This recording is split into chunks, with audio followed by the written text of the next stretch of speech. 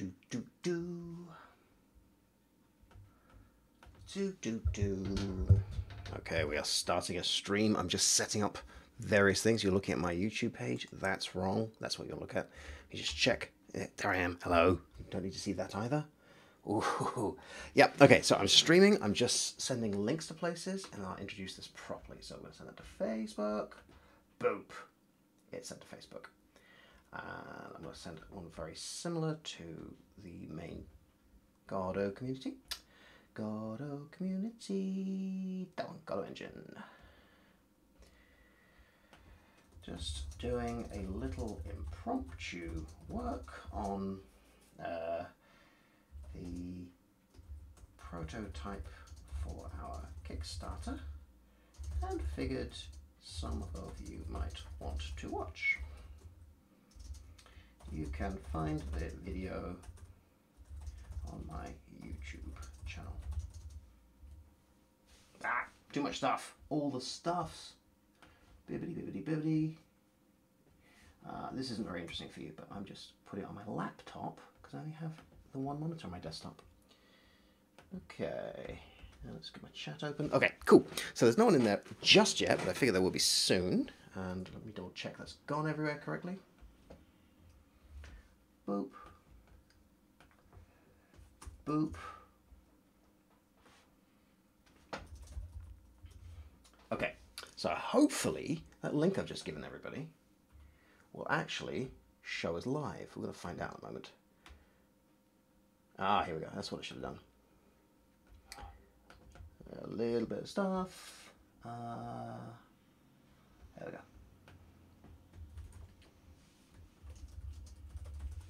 Okay, cool. Hi, folks. Uh, Jan here, and uh, I'm going to be working on Godot Getaway, which hopefully you can see right here. I can't actually see what you're looking at right now. Uh, well, I mean, I kind of can if I look over to my laptop, get my chat open. Uh, hi, Jack. All right, so uh, I've done a little bit of work on the interface right now, and we're getting to the point where I need to polish this, right? If you're going to have the interface, you can't, um, how can I put this? You can't half-ass it. You have to use your whole ass. That is a terrible metaphor. Uh, let me show you what we've got at the moment. So I've changed the actual um, login. Uh, let me ch check this actual sound. There is sound, awesome. Um, so that now we've got these drop-down menus. So we can go here, I want to be a cop, and I want to go nighttime. And if I host it, um, that icon needs to change, but I'll change that later. We can get into the game. And that should be nice and quiet. Let me just make sure the music volume is low. Good. So I've found that I can use these pop-up menus, and that's great. But frankly, this isn't good enough. So I want to make that menu a bit better. And I need to make those changes stick. So that's what I want to be working right now. I've got a basic plan. Um, that's my basic plan. I want to separate video, audio, and the quit button. Maybe put some decorations, although that can wait a little while. Um, and yeah, probably fix some bugs along the way too.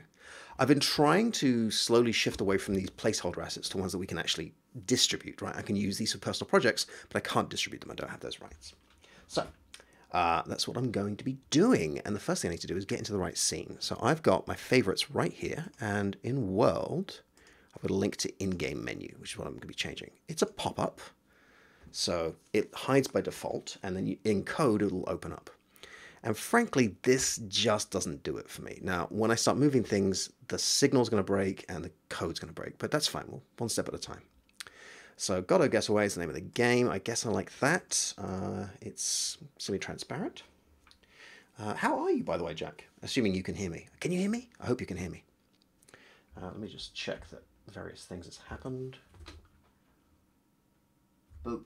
You know what? I'm going to update these links real quick. Uh, give me one second, and then I will do this properly. Edit. Uh, there you go. Edit. Boom. Cool. And on this one as well. I'll make sure people can actually see it if they want to.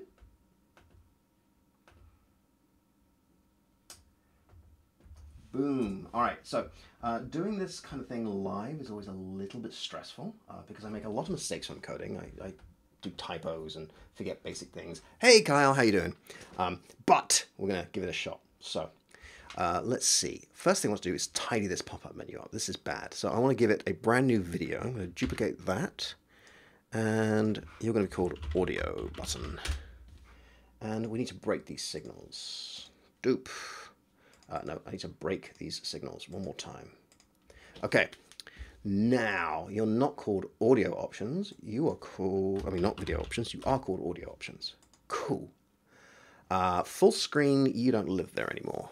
So let me check this the script for that. Uh, where are you? Who we got here? We've got Mole Ninja Max. Uh, less than ten dollars. We are four pounds from being fifty percent funded. We're gonna get that any minute. Hi, Michael. Uh, so okay, I've got my laptop over here. You guys are over here. Um, I would have put my laptop over there where there's more space, but Iscat was asleep. Um, now he's asleep on the green screen, which is behind me. I've got the green screen down because I mostly use that when I'm teaching my English classes to kids in China. Okay, so what am I doing? I am checking how I've set up these signals before I break them. So right now, this check button is for full screen. That's going to have to move. Um, it's also a terrible name. Check button toggled. Is that it? Yes. All right, so let's do that because I'm going to find that in a minute. Great. And let's start breaking stuff. Uh, 2D mode. And we are just going to, um, yeah, get rid of that completely. Bye. Okay, cool. Now, these, these are going to be pop-up menus, right? So I need to rename you pop-up menu. Uh, let's rename you video menu. I'm just going to break the script again, but that brings this up. Now, currently, I'm stuck with the default Godot theming. I don't really know how to change that yet. I'm still figuring it out. Um, but yeah, let's give that a shot. So I'm going to um, wonder what that was on my phone. That's an email. I'm going to move that reference, right? I just renamed you. So instead of pop-up menu, you are now called video menu. Nailed it. Oh, thanks for the sub. Um, like, why it's telling me here that you subbed to me? Whatever, it's fine. Okay, so now when I press the video button, that should now open. Except that says on test button pressed. That's a terrible name. Let's break you. And is that right? No, I just did the wrong thing. Okay. That one. Okay. You are getting disconnected and reconnected so you can have a better name. Cool. All right, so you're now not called test button thingamy. Meow. Oh, what the? No, no, no, no, no. What is that? Hmm. Yes. It lives down here. And now we can destroy that. Awesome. And let's duplicate you for the moment and call you audio menu and wonder why my phone's making so many noises. So many noises. And at the moment that's going to look the same as the other one. Don't want it to, but that's fine for now. And we need to change the signal, don't we? So disconnect and reconnect. On audio menu pressed, audio menu dot pop-up centered. And I don't need any parameters, the default's just fine. I'm not currently using the ID, but that's okay. Um, I have done something slightly sneaky. I want to show you this real quick. Tangent, sorry, we're tangenting. Okay, so before this was a radio button and it just looked a little ugly. So what I've done is I've changed it for a uh, option button. An option button allows you to add a whole bunch of different items in. I could put icons in if I wanted, but currently I'm not. Why this is interesting is each one has a 0 and a 1. Well, I say 0 and 1, it just, you know, adds a new integer with each one. So I can add as many options as I want, but the first one is 0 and the second one is 1. This is a little bit hacky. It might be a slight code smell, but I really like it, so for now I'm keeping it till someone complains. If you check the teammate, the team change, right? So there's a variable called isCop and there's an ID that's either going to be a 0 or a 1. 0 or 1 is also false and true in Boolean. So when this option is changed, when you change the option, it'll take the ID you've just selected and set the iscop variable to either 0 or 1, true or false. As long as I've got those options set the same way, it'll work fine. A little bit hacky, really satisfying. Done the same thing with night here. Couldn't do exactly the same thing with checking if you're the host or not because we're also changing what's displayed. We're using a group call to change how these icons are displayed. You'll see here everything is shown uh, in the editor, but when I actually start the game, I can't see all the options. If I change to the host, it's sending a uh, group call, and everything that's marked as host only will show for host, anything that's marked for uh, client only won't, and the button will rename itself. Um, while we're here, why don't we take a look at the changes I've just done? So uh, I've got a new camera in. It's making everyone feel very sick. Um, but you know, if you want the Vomitorium camera, here's the Vomitorium camera. We can almost drive on it. I've also massively changed the response of the car. Uh, that might be a bit much. Uh, is this showing with a decent frame rate? Because on my computer it's not, but, but this is running at 60 frames a second here. Okay, audio options, nothing happens. Video options, something happens. Reflections are still working. Depth of field is working. Fog is working. Currently those won't stick. I have to put them in each time. Okay. So those are working. Audio isn't. Let's take a look at why. Uh, first off, it's not connected. That's a really good reason. So, uh, button pressed. Slight lag you're in. Okay, so when I was watching the preview, it was showing at about 10 frames per second for the gameplay, which I just want to make very sure is not how it looks. And I need to make sure that when we record the gameplay, it actually shows at 60 frames a second, because otherwise, no one's going to believe me. Uh, okay. Oh, that's interesting. What did I do there? Oh, I see what I did. Well, that's not what I want at all. Okay, fine. Um, that should be hide. That should be Okay, cool. See, told you, I make a lot of mistakes. Uh, Pop-up centered. Bibbity bobbity boo. Awesome. One more time with feeling. Host game. Let's change color. What do you guys? What do you guys think? How about um, yellow? I feel like being a New York cab. Let's be bright yellow. Audio options. Clearly not audio options, but that's fine. Video options. Cool change to real-time reflections. Attempted call function hide on base null instance. Ah, there it is. Okay, so that is a problem. So this code is very much prototype code. You're not going to see a lot of what we see here, um, and I'll show you why. If I go to, for instance, our map maker, uh, well, first off, there's a navigation script. That's my navigation script. Clearly, that's just zombie code. We were briefly looking at trying to get nav meshes working with procedurally generated grid maps, and it's buggy.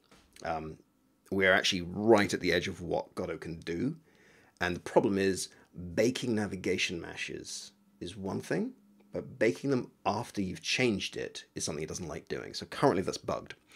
Uh, so there is a bunch of zombie code. Um, stuff that has been taken out and has, has been forgotten about. So I'm going to have to go through it all and do all that work. So, where was I? I was doing a thing. I was. Oh, um, if you've not taken one of my courses before, this isn't my normal teaching thing. I'm just working and talking aloud. Like I say, slightly weird. Uh, normally, when I'm doing this in front of a classroom, I get feedback by looking at people's faces. I can't see you. It's weird. Uh, I'm also going to take a quick peek at the Kickstarter. Kick. No, that's Kick Tracker. Oh. Kickstarter. Wah, wah, wah. It's a starter. Yep, still six pounds short. That's okay. I'm sure we're going to get that pretty soon. Uh, okay, so you are that, which means you shouldn't exist, which means we'll close you. Instead, on pop-up menu ID press, well, that's clearly the bad name. I'm going to recreate you. And let's just do that. Okay, so what's happening here? Um, it's another option menu, uh, and when you press the ID, just match the ID. If it's 2, if it's 3, if it's 4, if it's 6. What's happening to 0, 1, and 5? Well, those aren't actually options you can select. So 0 is just some text that says video options, right? It's just a title. Um, 1 is a separator, so it's just a line. In fact, I could just show it to you, couldn't I? Um, so 0, 1, 2, 3, 4, 5. So that means 0, 1, and 5 aren't actually options. I don't want anything to happen if the player touches them. Um, I really don't like this default Godot background, but I haven't figured out how to get rid of that yet, but I will. Cool. Um, and I guess that means I need to do something similar for audio menu, but for now we'll leave it.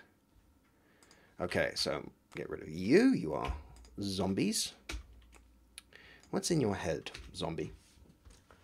Uh, uh, uh doo looking at stuff, don't mind me. Seven people. Hello, seven people. Um, I'm sort of back and forth over everything, so I should probably let Mikey, if he's around, answer questions. If there are any, do you guys have questions, concerns, thoughts? Oh, you know what? Um, we are very close to officially announcing our next stretch goal. Um, I actually don't have the figures in front of me, and I don't want to pull them up here um, because I don't really feel like showing you guys our financial documents. Um, we don't have any financial documents, but you know, when we get ten billion dollar pounds, I might buy myself a castle. We're not going to get ten billion dollar pounds. Um, what was I talking about? Right, stretch goals. Um, the first stretch goal is almost certainly going to be a repository where people can upload the assets they've made. Um, other people can see the previews or possibly the 3D model. I know that you can upload GLTF models into Facebook and see them in 3D. So I'm wondering if you can do the same on other websites. I, mean, I guess you must be able to. You need to research that. Um, see them, comment on them, download them, use them in your own games. So we want to encourage that sense of community. Uh, uh, uh, B. Okay, so you should now work. You should now work. All right, let's start designing. First off, this video menu. Um, I also need a full screen. So let's add some more items. Now this is the problem with using these IDs to do stuff, right? Because now done is marked as 6, but done is going to have to be something else. So let's call you full screen. And you are a checkbox, that's fine. Okay. And now we're going to add, I don't know why I closed that, I just left it open. Um, item 7 gets no name and has a separator, it's already updated. And item 8 is done. So what I need to remember is 7 is full screen, 8 is done. Uh, you don't get an icon. Uh, you are a checkbox. Wait, really? That's radio button, not checkbox. Thank you. Uh, uh, uh, no, you're fine. I need full screen is a radio button. I want it to have a little icon so you can see that you want to press it. Cool. Okay, so uh, 6 is now full screen, and 8 is now done. Easy enough. Let's get to the match, and I'm just going to replace the 6 with an 8. Okay, so if the idea is 6, um,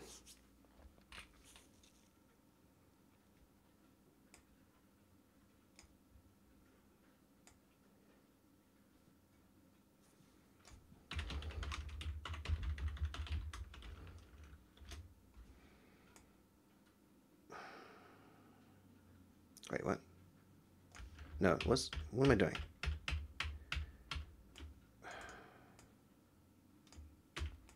Let's just get rid of that function entirely. I was going to make a new function, but you know what? It doesn't have to be. Um,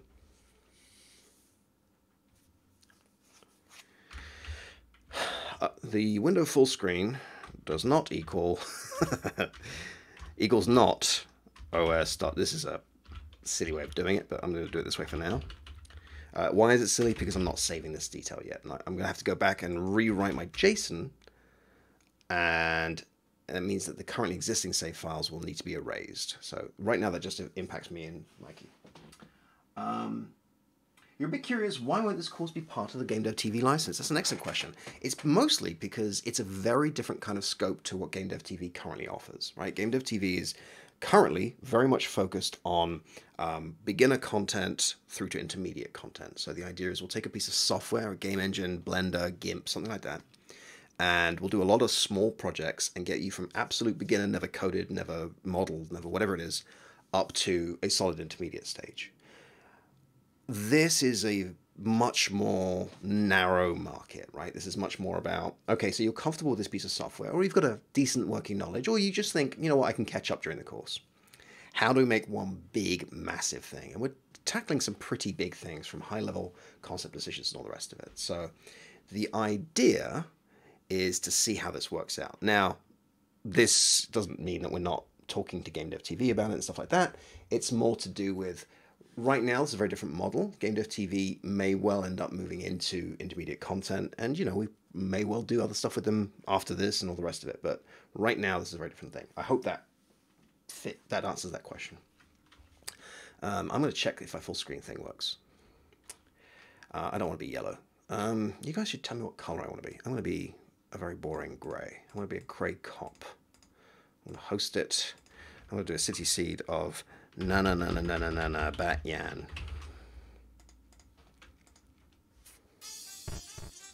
Nailed it. Oh, that's a horrible color. Wow.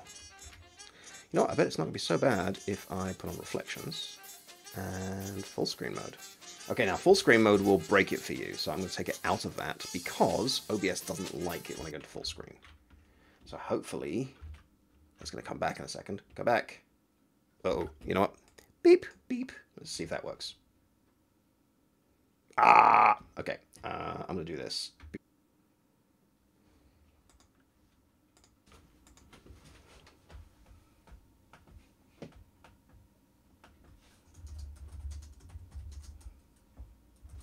I broke OBS. okay, um, so not going to full screen again, but now we know it works. Cool.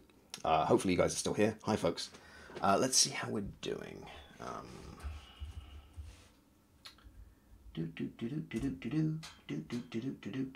Cool. We are still live. Great, you can see me. Awesome. There's a. I've told it don't delay it. It's delaying it. That's fine. Okay, let's design the audio menu. Um, well, first off, it can't say audio options. So let's get rid of all of these things that we don't need. Uh, you are called. we have a separator. That's, oops, no, no, no, no, no. Why would you do that? Thank you. Uh, you. Cool. So we don't have reflections in audio. We don't have depth of field. We don't have fog. That separator can go and that done can go. Awesome. Now, really, this should be sliders, shouldn't it? Which means this is the wrong pop-up. Okay. Let's take a look and see if there's a better pop-up we can use. I mean, I guess I could just use a standard pop-up. Um, pop-up panel? No. I'm just going to do a standard pop-up. Hi, Mikey. Uh, do boo boo doo bee doo. Okay, so you are there. Let's give you a color rectangle. Well, let's just design you. In fact, you know what? Let's make you a brand new scene and just work on you separately. Save branches scene in GUI, uh, audio menu, boop. Nice. Okay. Uh, first thing, let's give you a background color rectangle. That's American spelling. That's the wrong color. Higgledy piggledy piggledy. Awesome. And let's put you in the center and anchor you to the full rectangle. Awesome. Uh, I'm going to expand in both directions and I'll do shrink as well. If you resize the screen down while this is open, it should do stuff, maybe. Cool, so let's just call that background. And you know what, let's give it an alpha. Meow. Yeah, that's what I meant to do. Uh, all right, uh, next thing we need, we need a VBox container. What are you doing over there? Why would you be there?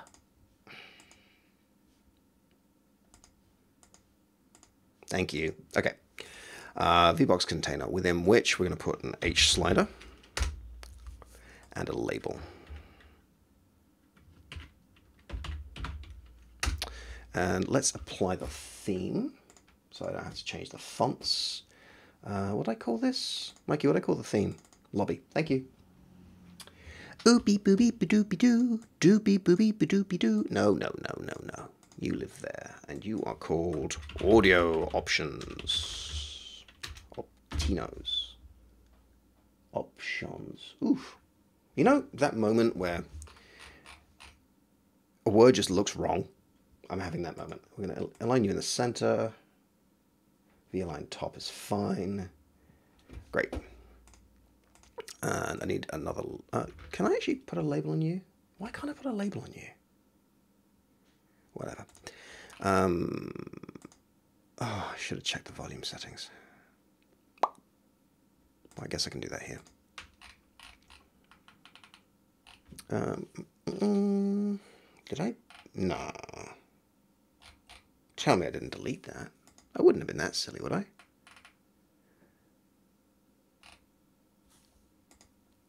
Huh, maybe I am. Oh, you know what? I bet it's in the world. This is a giant script that does giant things. Ooby dooby doo. Um, yep, there it is.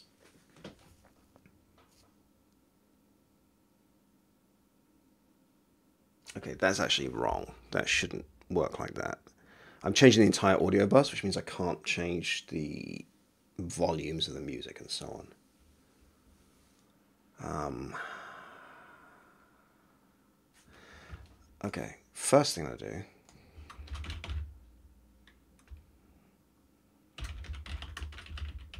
is do that. Second thing I do is, yeah, you see that's all wrong. I'm going to stop this being an editable child. Cool. I don't want to be using a signal. I'm going to use a group call. I know a lot of people think I should be using a signal for this, and that's fine. I'd like to use a group call because it means if, if for some reason something isn't in there, it's not actually going to crash the game. It's just going to say, oh, I've sent a function out to something that doesn't exist. Okay, audio menu. Uh, let's give you another label. Uh, you know what? You're going to be a different size font. Are you? No, you're not. Um,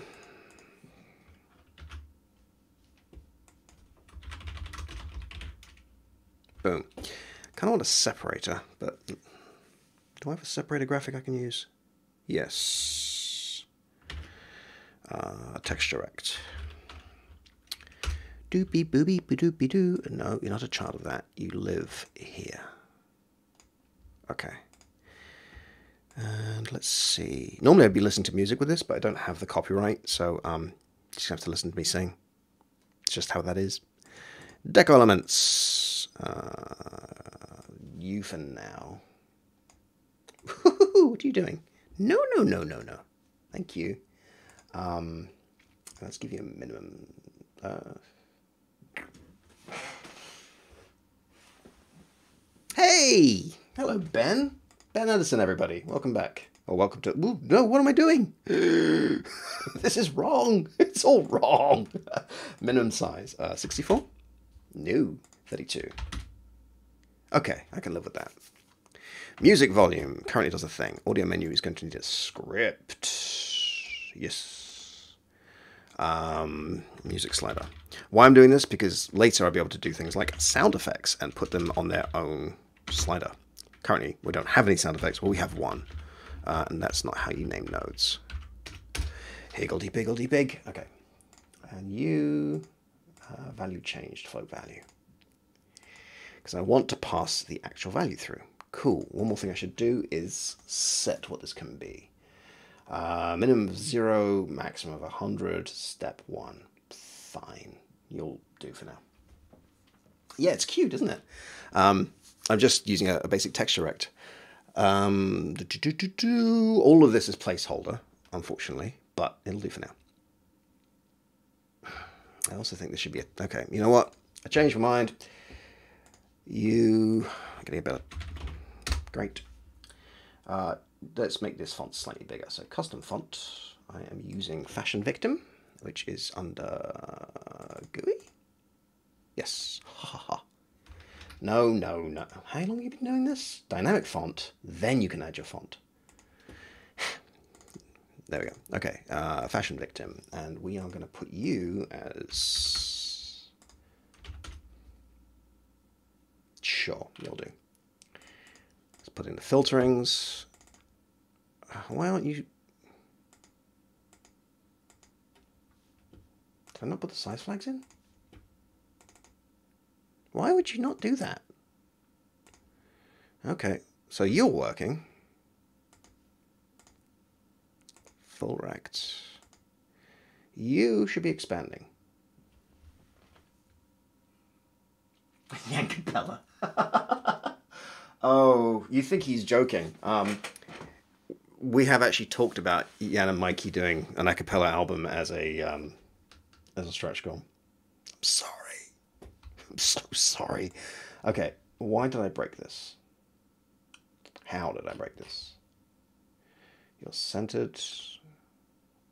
Mm, auto wrap, I can live with that. Uh, well, it goes like this. I'm a fire starter, a twisted fire starter.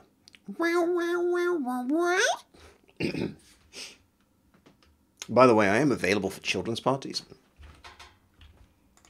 Um, how do you use Godot again?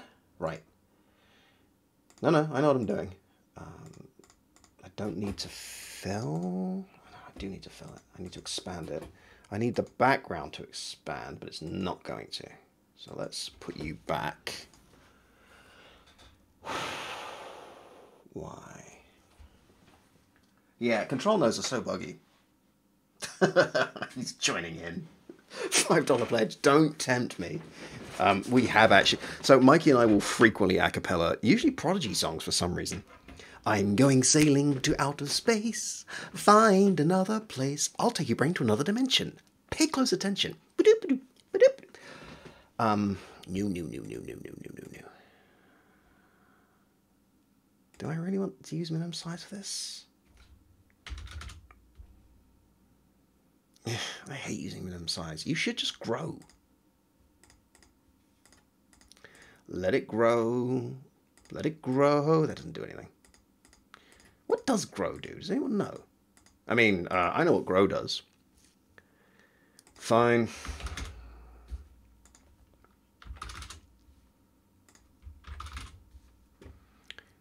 I mean, I hate it, but whatever. Uh, okay, so music volume is now linked to that. So now what I want to do is get tree. Now, I love using group calls. I happen to know that Ben Anderson prefers to use signals. He's like, why would you use group calls? Here's why. I can now run this scene separately if I ever need to. If for some reason I break something, it won't crash the whole game, right? So it allows a lot more flexibility. It also means if later on I want to add, I don't know, some GUI element that also responds to this, it could just hook onto the signal. Um, uh, no, no, no, call group. And what's my group called? Uh, uh, uh, what group are you? game state, he'll do. Dooby doo. Okay, and we are calling a function, and it is called music volume changed, and we are passing through the new value. Now, you'll notice I am actually saving that, so that will stick. Music volume changed needs to be a string, and I'm passing through the value. Cool. So that should work. However, I need to change my... Um, yeah, that's a terrible idea. If I pass through...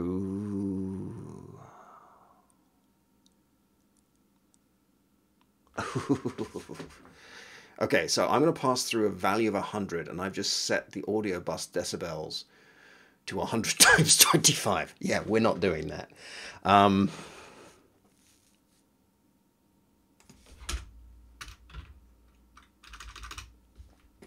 let's do it here.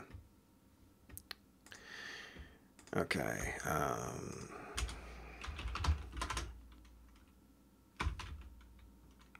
uh, value equals value times negative 1. Is that right? No, that's nonsense. What am I doing? I'm doing this backwards, aren't I? Okay, so let's get rid of u completely. What I'm trying to do is I want my minimum value to be minus 100 and my maximum value to be 0. That's what I'm trying to do. And that should look the same, right? So if I go to 2D view and unpop the pop-up, great, it looks the same. And we're starting at 0, which is max volume. Fantastic.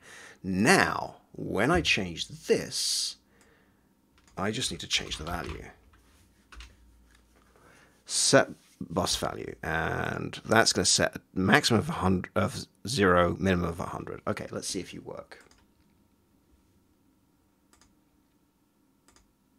One thing I've just realized is it'll no longer look right.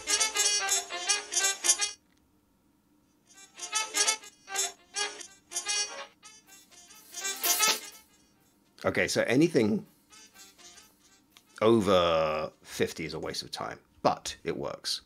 So let's go back to audio menu, minus 50.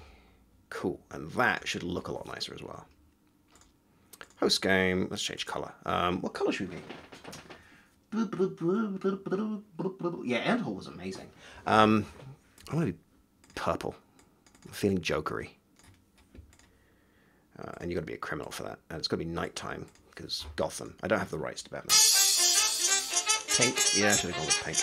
Okay, so let's change my audio.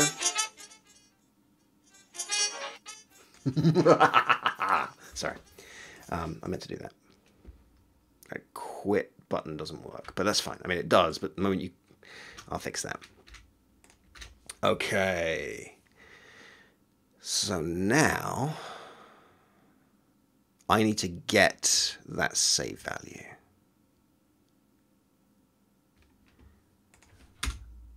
Uh, and that's going to be on ready.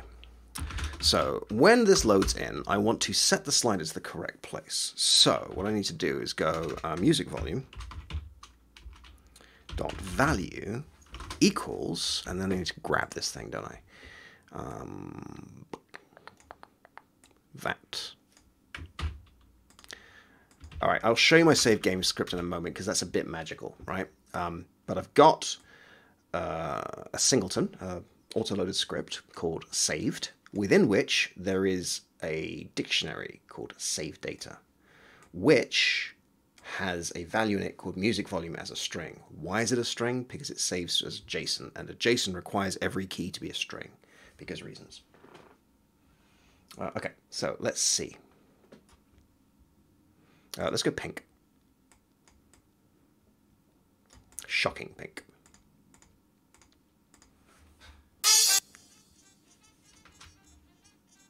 Okay, audio options. Okay. really, Jan? Wait, do I have a quit in my audio menu? Well, no wonder I'm pressing the wrong button. Fine.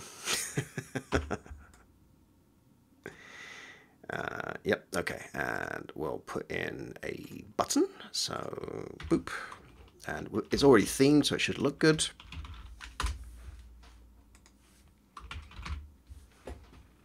and we don't want you expanding.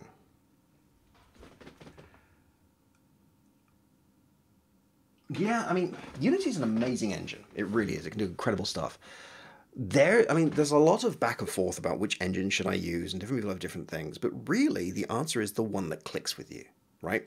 I mean, I get a lot of people saying that you can't do 3D in Godot. Um, I really hope you can because I'm kind of, you know, doing it. Uh, that's the wrong one. Um, Why aren't you in the center? Sorry.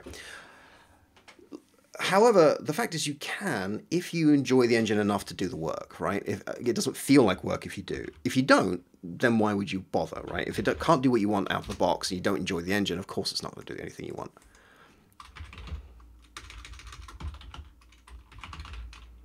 That shouldn't say quit, that should say done.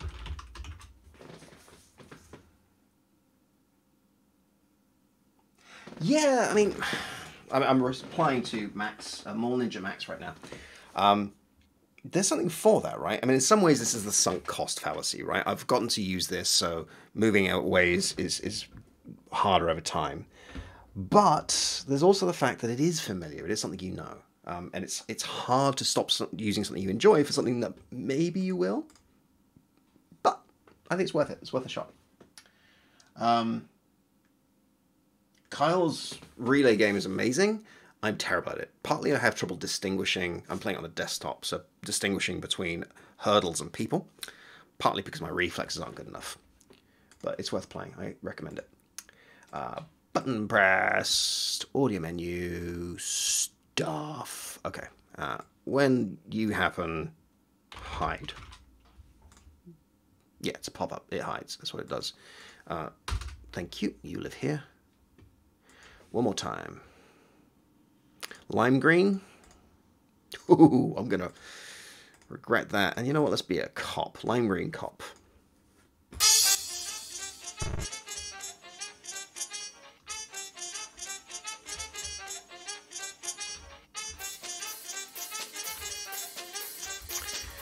Audio. Okay, so there's a bug. Um, moment the game starts, the audio bus is at 100 moment it finishes, it drops down. So that clearly is not going to work. So what I need to do is do this in lobby. Uh, yeah, okay. So I'm going to get this audio menu. And I want to set, no, not audio menu, it's in world, isn't it? Um, let's just copy these for now. And the moment the lobby starts, I'm going to do this.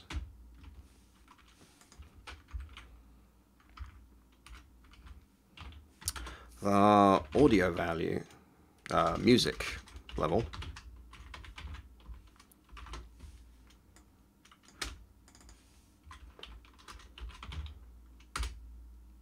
Okay, so if I've done that right, you know what, let's um, that's ugly, isn't it? That's really ugly.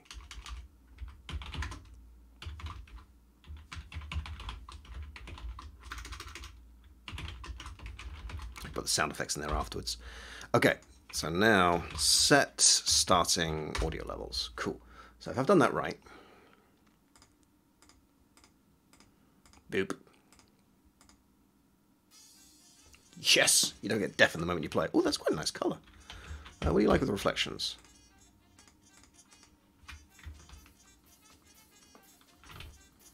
Honestly, there's not enough of a visual difference to justify using real-time reflections right now.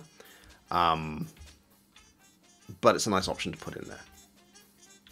When I'm looking at the preview, it's running at 5 frames per second. I really hope you guys aren't seeing it at 5 frames per second.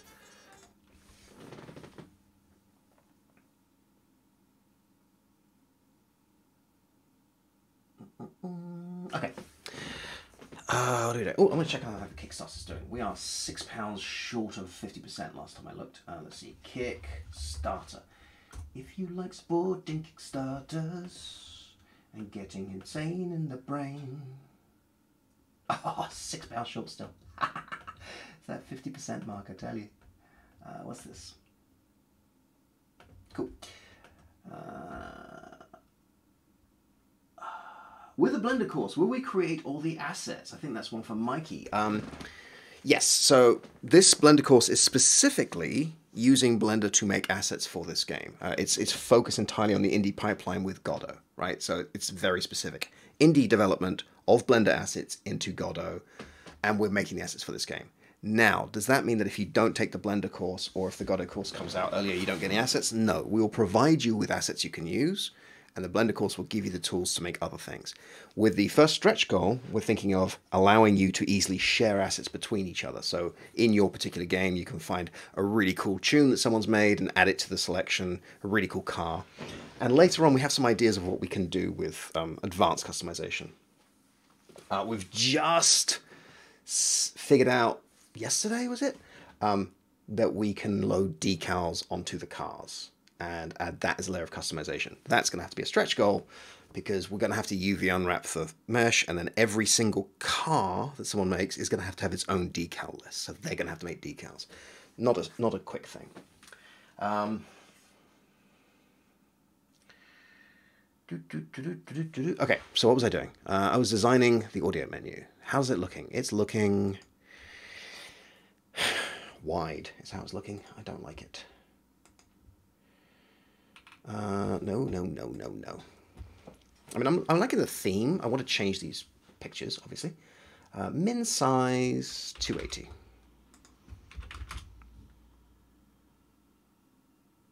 Oh, now you shrink down. Wait, what?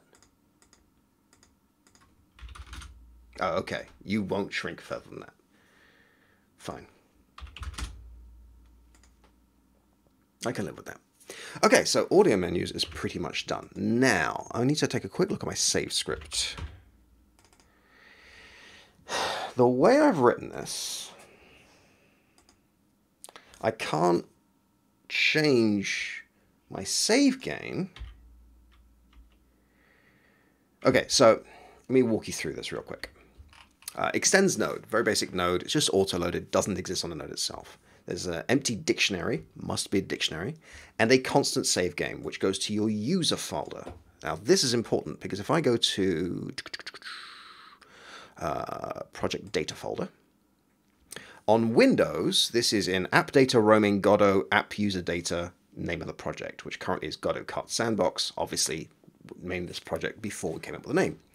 And right here is a savegame.json. I can open it up and you can see my values in it. However, what happens if you run the game and you don't have a file with these values? Well, what we can do is if not file file exists save game, take a look inside, uh, take a look for this folder. If it's not there, save data equals, and then we've put in a bunch of default values, and then save it. So we've now created it, it now exists. Whether or not we've gone through this step, we're now going to open it, read it, uh, get it as text, and pass it as JSON. And now we've got this thing called data, and we can return that data. So every time we say get data, that's going to work. Um, then we're repeatedly going to be changing save game. So every time we want to change the player name, the local paint color, um, or the music volume, we're going to immediately save the, the game. And if I show you the lobby script, uh, let's take a look. Um, the moment you change the customization color, it's going to say, okay, immediately save value local paint color to this color value passed as HTML. So lots of things going on. And the problem I've got here is I've just added a brand new thing, right? I've just added full screen, which I'm not going to test again. And currently, if I add that to JSON, my existing save file won't have that. Now, at the moment, there are only two people who are running this, me and Mikey. And it's not too difficult for me to say, Mikey, I need you to delete your save file. And then he'll forget, and the game will crash, and then we'll get mad at each other. Um, that's not what happens.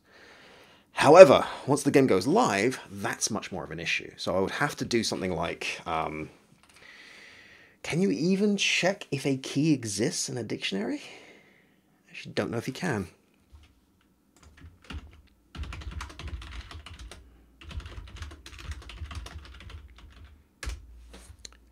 Uh, oh, I typed it right. Uh, do do do do do do. Use oh, use has key. Well, why didn't I think of that? I'm a professional. Beep. Okay, so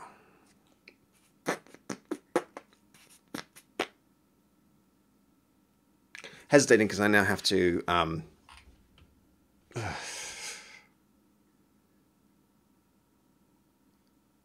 sorry, not the most riveting TV. I'm going to have to rewrite my save game. Okay, so there's a quote from um, Extra Credits. The later you make a, dis- a change in your game, the more expensive that change is. This is true now, right? At the moment, save game isn't very big, but it is used in lots of places. What I should do is write a function that checks if the value exists whenever it's being read. So if I'm reading this function, so I'd need a function saying read save game or get save game data. And then I need to pass through the key that we're looking for. And then I need to say if the save game has the key.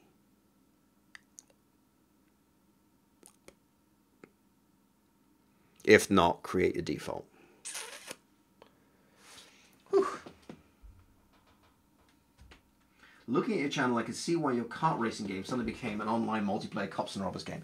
Yeah, well, I played a lot of APB and actually um, still get views on my APB tutorials. And I played a lot of Elite Dangerous and Star Wars Galaxies. Um, but yeah, eventually we'll have, well, I say eventually, we're in the process of registering our company. When we do that, we'll register a company YouTube channel and all the rest of it, probably. Uh, but this is fun. I just thought I'd hang out with you guys while I tried this. Okay, so this save game.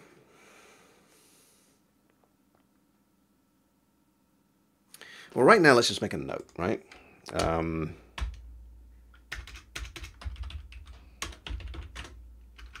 let's make a note right here.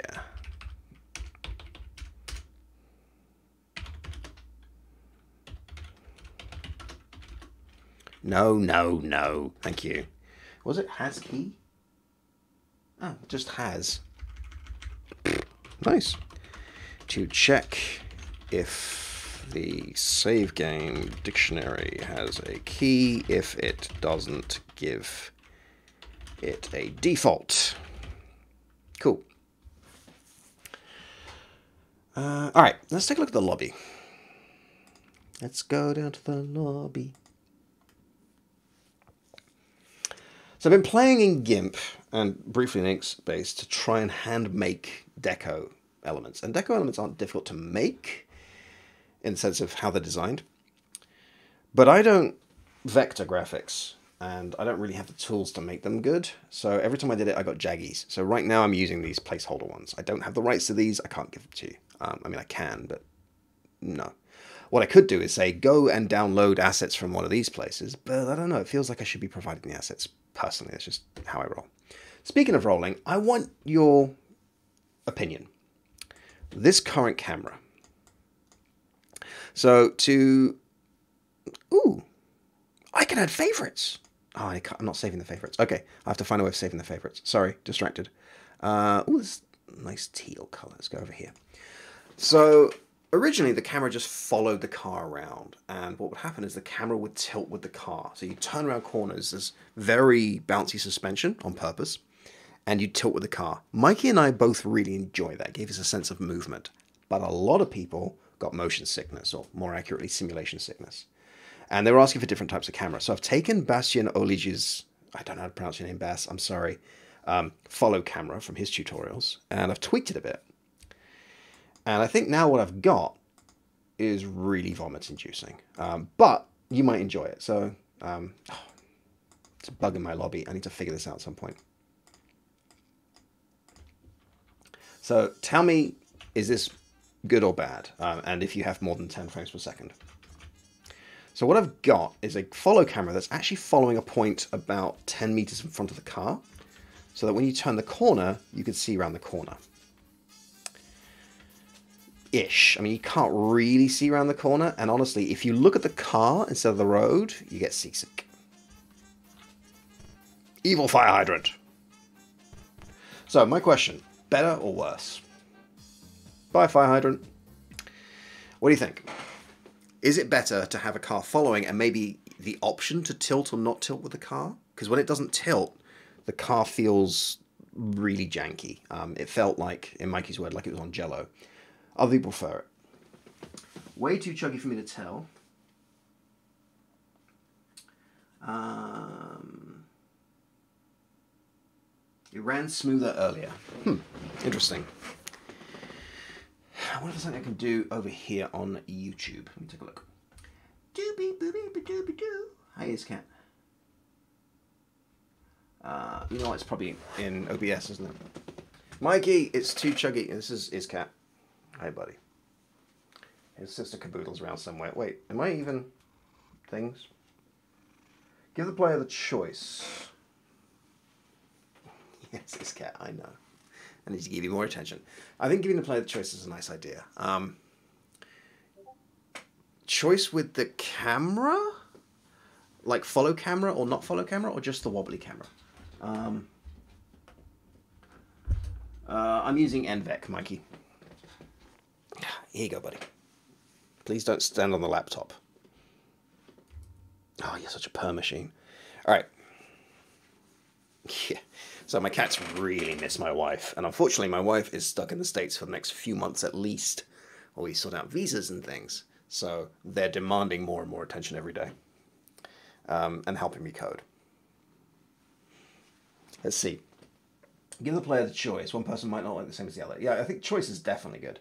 There was one time you ran it a bit ages ago, and it, it was silky smooth. Okay, you know what? Maybe don't put it full screen. Let's see how that works. So, is it smoother if I do this? Is that smoother? I'll wait 20 seconds because you have to see it and then I have to see your response. Okay, so don't go full screen. So, part of me likes this because you can now see the car, right? It's not locked directly behind you, which means you can do fun like bootlegger turns. Part of me feels motion sick, and I don't get motion sick. Actually, I'm not feeling motion sick. It just feels blurry. If I don't look at the car, if I look at the road, it's much easier. Seeing around corners is tough, though. Let's just crash into some scaffolding. Much more like it. I learned to drive in New Jersey.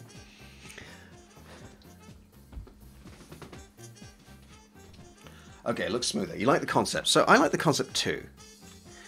Looking around corners is tough, but this might not be too bad. Uh, these are placeholder textures, by the way. Um, Mikey didn't do these textures. I got bored and put textures in. and Mikey went, oh, you've put textures on it. Sorry, Mikey. I don't know how to use Blender. So I just downloaded some textures and just whacked them in. Um, also, these cars, really heavy.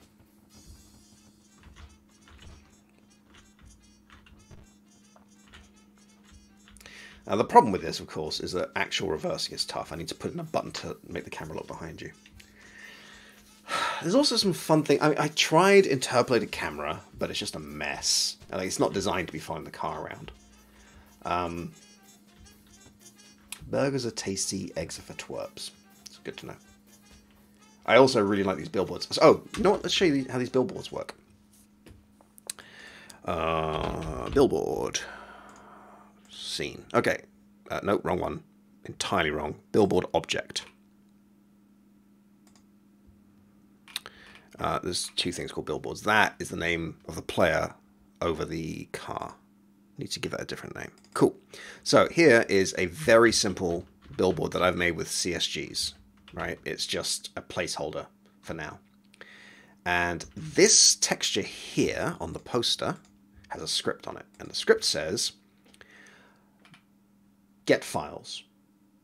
So what it's going to do is it's going to look in this folder for all materials or anything in here, and they're all materials, and then apply one of them randomly. So it'll get them, it'll put all of them into an array. I think, oh, it's actually a dictionary. Should be an array. Uh, pick one randomly, and then load them all up. So what I can then do is I can have a bunch of um, where did I put them? A bunch of different very quickly made posters and you can just throw them in. So I've got a toucan over here. I can't believe it's not beta. I've got a Godot one. I've got a Cool Crimes one. And the nice thing is you can just add as many as you want. This means that when I was saying on Facebook, hey, do you guys have any idea um, what kind of rewards would be nice for you guys? What would you like to see? And a bunch of people like, put my name on a poster in the game. It's like, yeah, but I'm going to teach you how to do that. Why would you pay for that? Uh, oh, you know what? I need to check something real quick. No, good. Okay, cool. Got sidetracked. Um, like to know what's making people sick. So, I was actually watching a video on this earlier because I was trying to figure that out. There's actually very little evidence on what it is that causes simulation sickness. There's a few things that seem to help. One, turn the brightness on the monitor down and turn the brightness in the room down, weirdly. Uh, don't be too close to the, to the thing. Move the camera further away from the car, but the further away you move the camera from the car, the harder to see around the corner. Um, these are the big ones. Uh, and some people are not prone to it. But yeah, you can make your own billboards. Um, where did I keep them? Textures. Here's all my textures. So there's my Blender image, my burger. Most of these I just made in, I really like this one. I just made in, um, what do you call it? GIMP. But yeah, you can just make as many as you want. Um, this is the other downside, of course, of a repository that we're talking about for a Kickstarter. We're going to have to um, moderate it. Because while I find it highly unlikely that any one of you is going to put something inappropriate up there, or porn, or horrific Nazi imagery, I still have to check just in case somebody gets drunk and loses their mind one day. You know, it's the thing.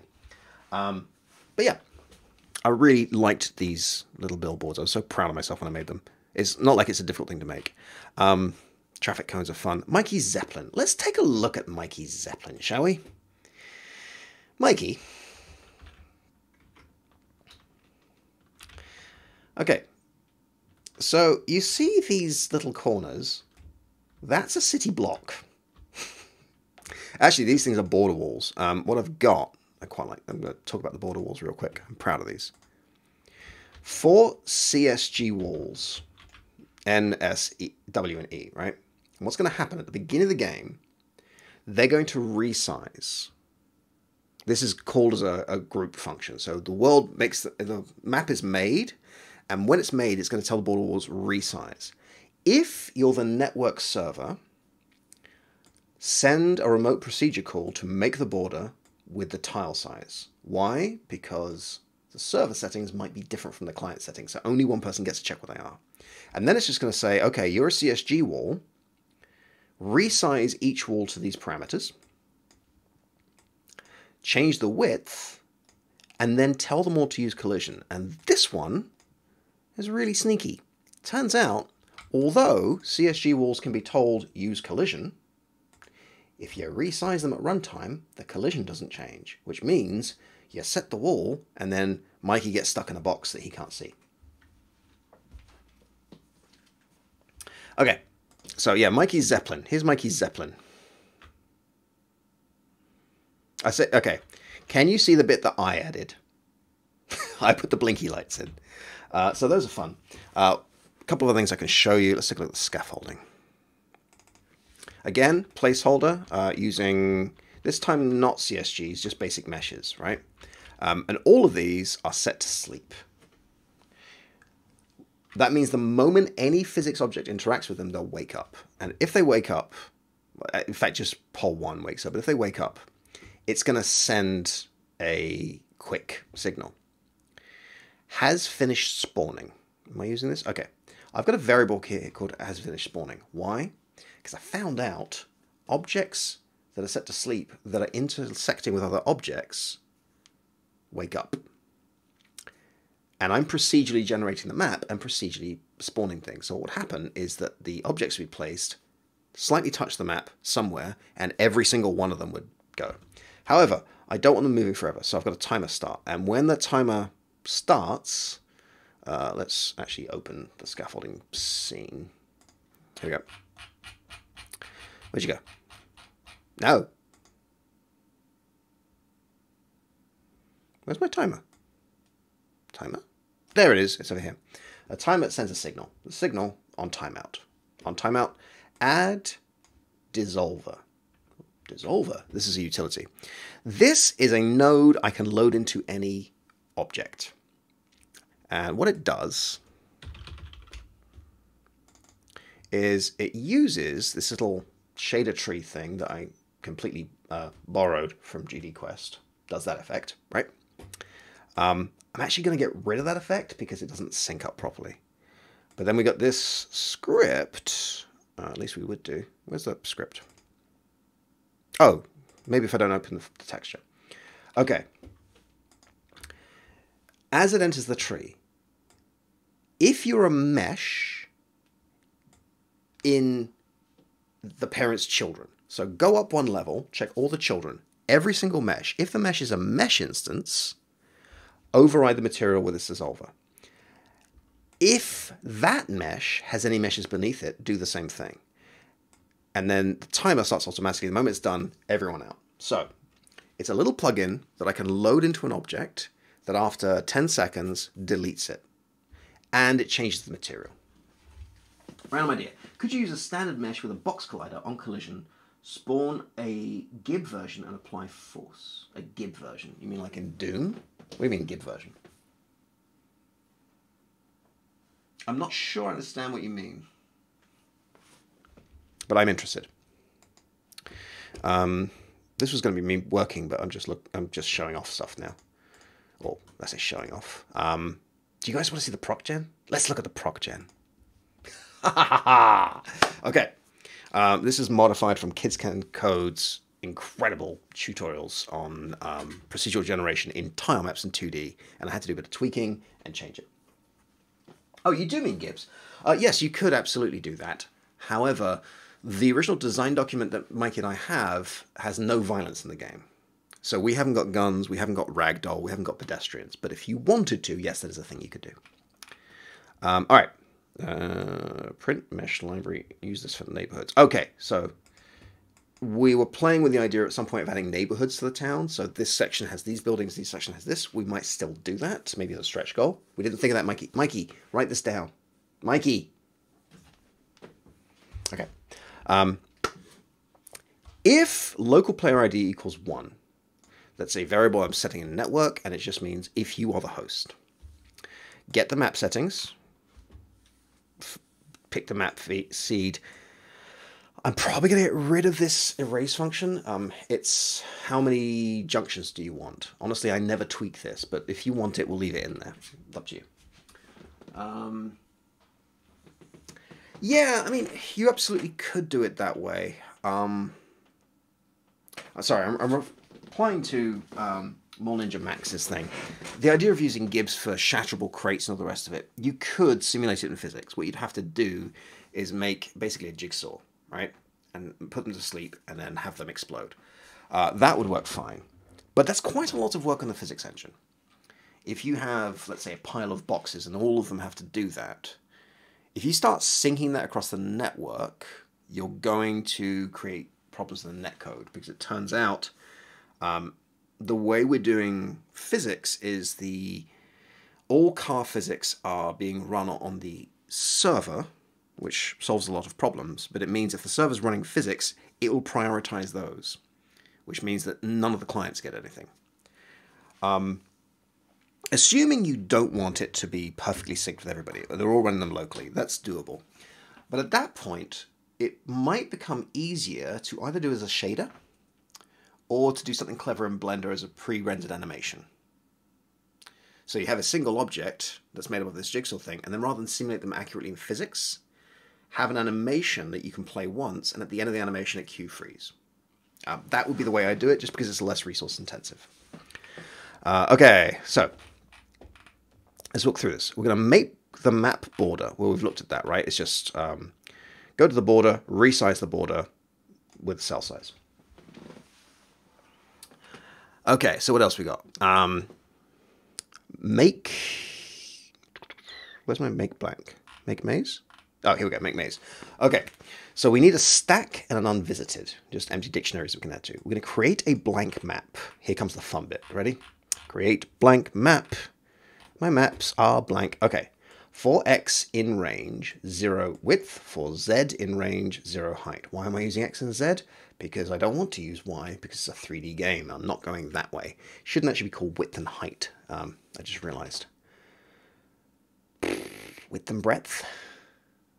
I don't want to change height. Whatever. Possible rotations 0, 10, 16, 22. These are very sensible numbers that have very sensible meaning. I don't know what they are, but they're very sensible. So grid maps allow you to rotate a tile, right? But allow you to rotate them in all three axes.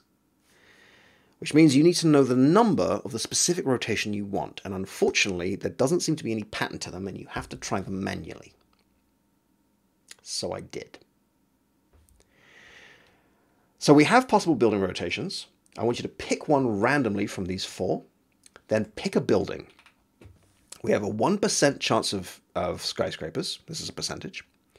We have two tiles that we can use for buildings, 15 and 16. And then we're going to pick a, a random one, and I need to automate building 17, which is a skyscraper, and then return the type of building going to add. Then we're just going to place that building. Uh... No, I, I, I like your um, your physics question. It's what, what's the essential experience, right? If you're moving at high speed and you want to see things flying, that's one thing. If you're moving at high speed and you want to see, see things shattering, that's something else. Shattering is completely doable. You just need to know that at the beginning. Don't do this at the end of the game because it's going to be a problem. Um, quick note about these 15s and 16s. I'm going to open the tile map. If I can remember what it's called. What's it called, Mikey? Uh, large road. Ha ha ha ha! Found it. Okay. So, uh, we actually have navigation meshes we're not using in here. Mikey, we need to get rid of the navigation meshes. Okay. Um, you know what? Let's do this with stylus. Where's my pen? Cat ate my pen. All right. Tutorial time. Boo doop, boo doop, boo boo. It works like this. Nope. Let's do this in a pen. All right, we have a tile, okay? And each tile is a certain size. In this case, it's 20 meters by 20 meters. And we're going to assign binary values to these. So these are going to be, how does this work? Uh, 2, 4, 8. Is that right? No. Two, 1, 2, 4, 8. That's how it works. Not a math teacher. One, two, four, eight. Okay, and what we're going to do is we're going to say this is just a building, right? But if I don't want it to be a building, let's say I want it a road over here. So I'm going to erase the wall here. So if I erase the wall, then I need to tell it which wall I'm erasing. I'm using zero.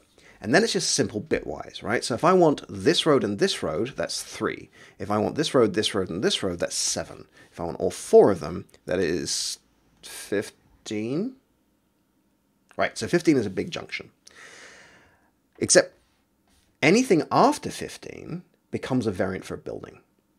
So, with that in mind, what we have is a bunch of different Blender created tiles, right? It's just something we're going to teach you how to do, uh, which currently have nav meshes which we're not using, which are getting in the way, but I'm just going to hide one of them for now. So let's get rid of my nav mesh. Uh, you a nav mesh? No. Where's the nav meshes? Oh, yeah, there we go. Okay, cool. So here we have uh, number two, and it just has one wall on it, right? So I can add or subtract the walls. I think I've actually put them the wrong way around. We're adding the walls, we're not subtracting the walls. But the idea is we can then use a very simple thing to say, okay, tile number five can only be made with four and one. So we know those two walls need to be either added or subtracted depending on how we're doing this.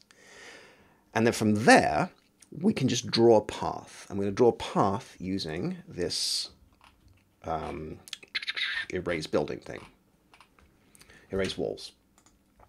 So we're going to go through the whole thing, get the current cell by finding its um, location, coordinates, thank you. Uh, I'm going to clamp it so that the current cell can never be higher than 15 because otherwise it's going to go wrong, right? I'm going to find the neighbor that in the direction that I want, so pick a random direction. If there's a neighbor there, I'm going to raise it. And then I'm going to add it to the stack and just have a stack and an unvisited. And then when the, there's nothing left in the unvisited or there's no way of getting there, the map is complete. Then I'm going to fill the gaps because I'm actually, I've got a spacing variable, right? So I'm not doing every single tile, I'm doing every second tile, which means I need to fill those gaps. So I need to find which way they're facing and put something in the middle uh, buildings. Then I need to record the tile positions because we need to place objects on these tiles. They can only be on the roads and they have to be aligned properly. Ah!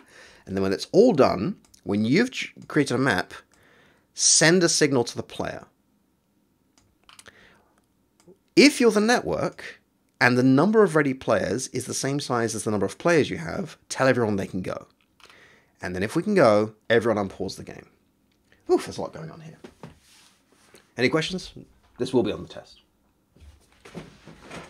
I was a professor for a while. Although you should have seen my um, what am I doing? No, no, no, no, no. You should have seen my multiple choice quizzes. In fact, if you've taken the Godot course and board game course, you have seen my multiple choice questions. There were things like um, why were cities not allowed to be built within the walls of the city of no? Why were theatres not allowed to be built within the walls of the city of London during the Elizabethan period? And the answers were. Um, because they all kept singing about how lovely it was to be a chimney sweep and no one got any work done uh, because Professor Burrett doesn't like it when I'm on the phone. Uh, they were, it was a Jedi mind trick. I got very bored making quizzes. Okay, so what else we got? Um, well, I was going to be working on the menu.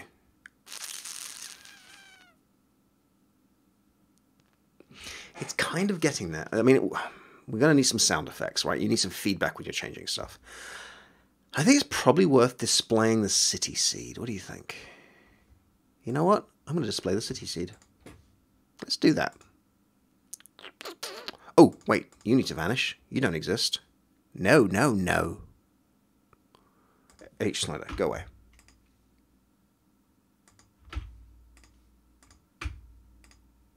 Whew, okay. Uh, make you live down here. What was that? Oh. Okay, fine. You can live down here. No! Why won't you... HBox container. Wait, what? How do I... What am I...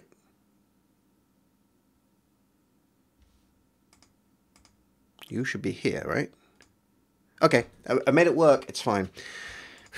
Okay, never mind. Everything's everything is copacetic. Label.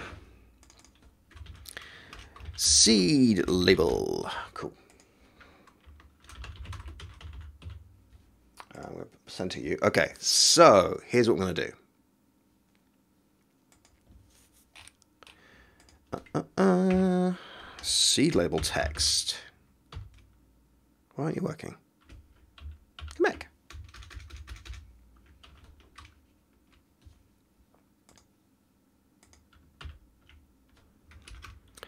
Seed label text. Mm. Hello. Thank you.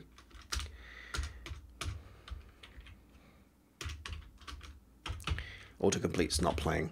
Seed label dot text. Fine. You know what? That's just what you look like now. Um, in game, yeah, this is correct. Whatever. Equals, and now I need to grab this. So Let's go to network. Uh, nope, it's not in network, is it?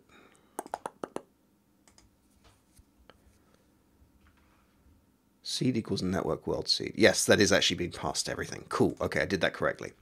Um, uh, seed equals plus, and I will need to cast this as a string, and it's going to be network dot world seed. Why is autocorrect not autocomplete not working? Whatever. Let's see if it works. I'm a little teapot covered in jam.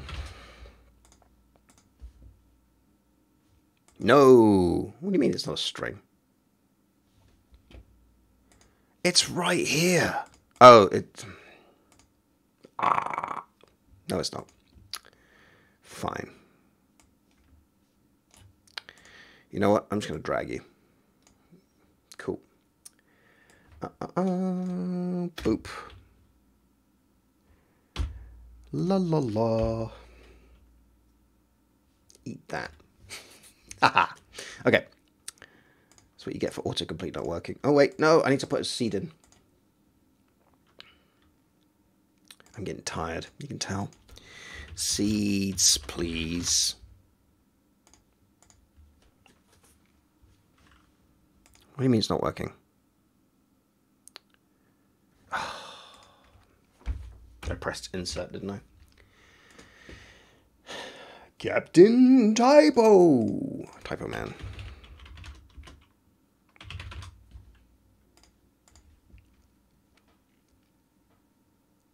Why? What do you mean you can't? Index value, a type of float. What are you talking about? What? You're working fine. What I do? So, is this actually that? Because that looks different.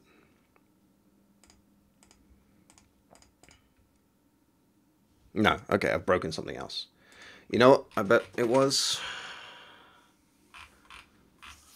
Uh.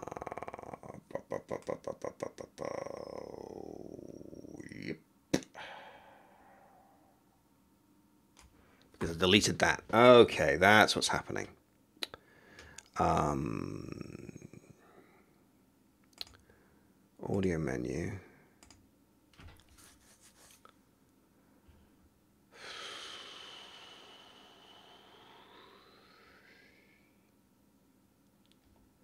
Okay, function, update, music level. Okay, so what's happening is I had originally had the slider change depending on what the volume should be, but I've now moved it so it doesn't. So I need to change value. Uh, no, that can't be called value. Um, volume. There we go. Value equals volume. Cool. Let's add you to a group. Oh, right. Uh, which one is the slider? Let's get to the right scene. Music volume. Music volume dot value equals volume. Cool. Now, when are you getting loaded in? Right here. Okay. Get tree dot call group uh, GUI. And what do we call you? Oh, I've got too many of these open. Way too many things open. In-game menu. Uh, nope. It's the audio one, isn't it? Let's close you and you and you. This is what happens when I've been coding for too long. I have everything open. Okay, audio menu. Update music level with volume. Awesome. Let's get back to world. Mr. World. Awesome.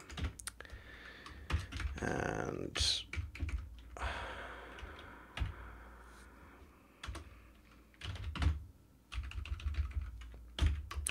finally, I need to add the audio menu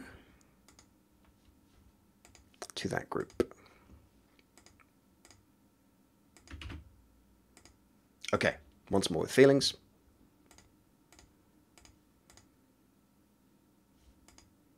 You lie. What are you talking about? What did I do? Okay. Oh. I didn't remove the line that was bugged. I'm a teacher. Okay. Cool. Now, you're working. I need to go back to the thing I was just trying to fix, if I can remember what that was. I can't remember what that was. Oh, I was displaying the seed, wasn't I? Okay.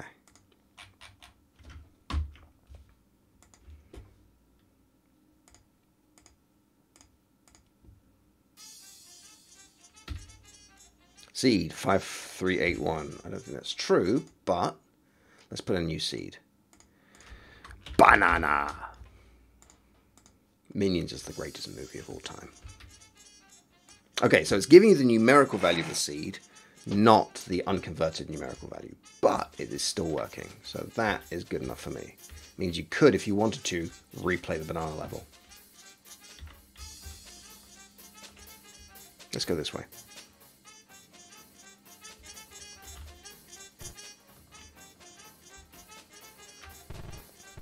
bonk, bonk, bonk. Cool. Okay. I think that's probably enough for now. So, um, yeah, I'm going to switch scenes, which I have to do this way. Boop. Okay. Hi. Um, before we finish, any questions? 50%. What's this 50% business? Um, woo! So yeah, I did a bunch of fiddling. I showed you guys some stuff. I hope it wasn't too boring. Um, I've just noticed I bought a giant chocolate bar. um, I'll play with that later. Um, we're really excited. Oh, we're at 50%. That 50%. we're at 50%. You people are awesome. I totally didn't clock what you guys meant. No idea what you were talking about. Um, that is absolutely amazing. Ah, 50% in two and a half days? Oof. Okay, so yeah, stretch goals. Um, we do actually have the figures. We'll have to record an announcement for this. Um, but the first stretch goal is almost certainly going to be this repository thing. We've got some ideas for some other stuff. If you guys have stretch goals you want to see, do let us know. One thing I'll point out, we're in an unusual situation. We have, th- that was a weird American accent. Uh, we have three, uh, this is how my Chinese kids count. We have three courses and the stretch goals should ideally be good for at least two of those courses, right? If I keep putting stuff that's great for Godot and someone hasn't taken the Godot course, that's not much of an incentive for them. But not all of them have to do that. Some possible way down the line things we're talking about are things like dynamic music. So if you're carrying money, maybe more instruments come in. If you're in a different neighborhood, if we have neighborhoods, Na- Mikey, write down neighborhoods. Um, so yeah, that's an amazing thing. Um, any thoughts, questions, concerns, interpretive dances, poems that you guys want to share before I call it a night? I'll wait a few seconds. Yeah, dynamic music would be a lot of fun. We need to play with it a bit. Um, one of the things we do want to do before, or maybe before, maybe after, one of the things we do want to look at is um, upping the customization. Um, possibly eventually with modular car assets. Now we know how to do this, but it's quite a lot of extra work. It would be, I want this hood, these wheels, this fin, whatever, right? And then if we start adding decals on top of that, like that's quite a lot of production, not just for us, but for the students. So we want to make sure that there's enough um, interest out there for that to happen. I don't just mean financial interest. I mean, like, if we're going to add that much extra workload, not just to us, but to the videos, let's make sure that people actually want that. So let us know. Um, will there be a limit on the number of players? Yes, yes, there will. Um, in fact, currently, um, let's just hide my yeah, just hide my IP. Um, currently, number of players is not in this script; it's in network. Uh, that's the wrong world seed. Max number of players. Yes. Okay, so here's why. This is a peer-to-peer networking game. Okay, so the host is having to do quite a lot of work. The host is having to calculate physics for all cars at the same time. And every frame, we are transmitting the physics and position data of every car. The more we add, the slower that gets. It works great on two, um, unless you have too many shadows, in which case it stops working. We think it'll work great with four. If we wanted to have 64 players, one would need a much bigger city, um, which is doable. Two would have to change to a headless server, right? You'd have to have an online server. And at that point, we're looking at a very different type of game, right? This is a much more intimate player to player experience, if that makes sense. Um, yeah, Ben, definitely do more Godot videos. I love your Godot videos. Ben is actually Ben Anderson. Hi, Ben Anderson. Heartbeast over there. Um, is actually the first tutorials on Godot I ever followed. And then three months later, I started making a course. So that was good teaching. Um, some things I'd like to do, but adding to this course would be questionable. Well, suggest them, because the worst that can happen is that we'll say, it might not fit here, but here's some ideas, and someone else might think that. Uh, another great example of this is uh, Azrael Studios. I think it's Azrael Studios. Um, I mean, he's been part of the Godot community for a while and all the rest of it he was saying he's really looking forward to tweak, seeing if he can tweak this course so that he can make a steampunk game where the driving is just a section of it. Like that's a serious, ambitious goal. At that point, you're talking about a full indie team, but that's really what we're thinking about. Um, metal fingers for Jack. Thank you, Jack. And uh, also a panda. Um, there is a reason why I have a whole bunch of finger puppets here. It's because I teach kids online at the same time. You can probably tell. Oh, I have water. I'm not a complete idiot. Goodness, I'm thirsty. Okay. Any other questions, thoughts, concerns, contents, things? Don't show these again. I don't know why it's asking things. Oh, I, should probably check Facebook and things. Uh, questions? Nope. Really basic, getting out of the car to rob a store, confront a criminal would probably be violent though. Okay. Yes, it would be violent. It's also you have to remember this started as a kart racing game. In fact, do you guys want to see? I'm asking. Uh, Kyle has seen it. Mikey has seen it. There was a prototype that I worked on. I actually uploaded the uh, Git repository, and Bas recorded a video of him and his son playing. It was awesome. Uh, let me show you this thing real quick. Uh, this is the castle near where I used to live. I don't live there anymore. Um, the moment we start adding things like NPC humanoids, we have to start adding navigation. And currently, navigation with a grid map that's procedure generated in the way we've done it doesn't seem to work. It might do, but it's a bit beyond my ken. It's actually a bit beyond my Barbie, um, but I think it's just a bug. But here, simple split screen, uh, things was the original thing that I made. Um, three, three, two, one, go!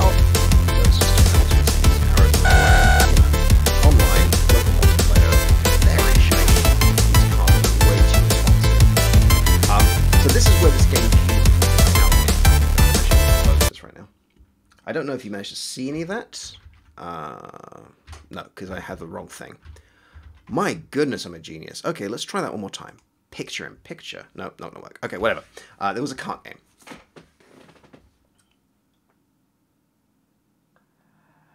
Wow. Yeah, okay, so that was a complete fail. Um, let me talk you through it. There was a simple kart game. It looks very much like kind of Lego, I guess, very plasticky. Um, and then the refining and refining and adding more things, finally out, okay, this is no longer a car racing game. You could absolutely. Can you hear me, by the way? I hope you can hear me. Booby doop. Yep, says you can hear me. Um, adding NPCs that can walk around and things means we have to have humanoids that are rigged for animation. We have to have animation trees. That's all doable. Uh, vehicle physics, bullet physics, gun physics, pickups, health, all doable navigation for AIs, that's the thing we'd have to solve. Um, currently, using the navigation on a grid map at procedure generation level doesn't seem to work. What we found is it will work on whatever was in the scene before you ran the procgen. So if you have a basic layout, that's the navigation it'll follow no matter what the tiles do afterwards. And I don't think that's being updated. Um, wouldn't even have NPCs walking around. Yeah, I mean, it's totally doable. It's totally doable. It's it's more what's the scope of your game. To be honest, with the skills that we want to share with these courses, there's no reason you couldn't do that. I mean, just take the basic stuff we did in Food Fight in the course I did with Game Dev TV. Um, that's got basic projectiles and animation trees and all the rest of it, and you could make a multiplayer shooty drivey game um, with very little problem. Um, scope creep, but it's totally doable. Uh, uh, uh. There's videos on the Godot Facebook group. Yep. Hearing is slowly coming back. Uh, I mean, I would love to share my, my music with you, but I can't. Um, yeah, no, totally. I mean, it's it's something you could totally do on your own. Uh, I'm going to look at Mikey's car body. Nino, Nino. Uh, fun fact, he only made half of this, and the wheels aren't included, but um, you don't see that in the game. When I say half of it, it's duplicated down the center. Duplicated? Mirrored? I don't know the word. Anyway, I feel like this is a good time to uh, stop. I didn't share my screen again. Professional. Um, as I said, here's my thing. No, see, picture in picture is not working again. Scene working? No, OBS is broken. Whatever. OBS is broken. This feels like a good time to call it. It's coming up midnight. It's gone midnight. Wonderful God of people, you are wonderful. If you're watching this live, I really appreciate it. If you're watching it later, I really appreciate that too. I'm tired, I'm thirsty, I want to speak to my wife. Um, you're amazing. Uh, can't wait to get this content to you and see you real soon. Bye. Where's my button? I've lost my button. Found it. Bye.